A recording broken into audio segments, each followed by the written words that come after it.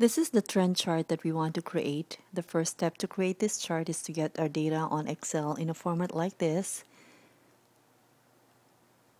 So you want to highlight the data set, click on insert and choose the line chart. You can choose the first one on there.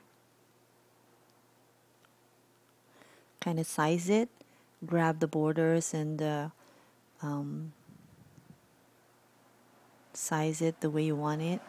You want to remove that label. We don't need that for this chart. And then move the chart a little bit downward so that you have space for the title and then insert a text box for your title. Type in your title, median price, trend.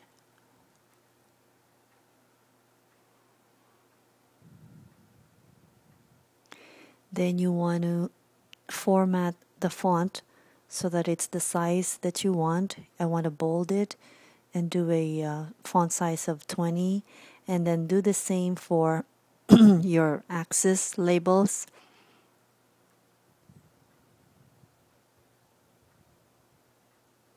Okay. And then for the month axis, you want to do a um, a label that shows every two months because it won't fit for every month. So then you want to adjust the size of the chart to fit the month labels. Right click on line, choose format data series, choose line style, and you want to have a smooth line so check that. Then you increase your line weight to 3. Then you want to go to marker options and click on built-in so you can choose your marker and size it.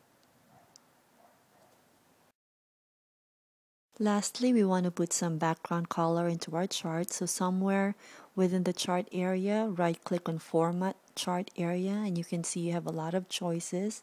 But let's go ahead and choose gradient fill with our default color which is kind of pinkish.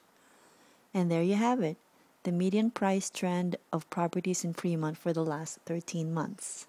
Thank you.